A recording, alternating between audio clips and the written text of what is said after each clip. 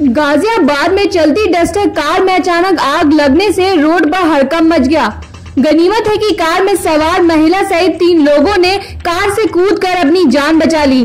Bureau report Uttar Pradesh dot O R G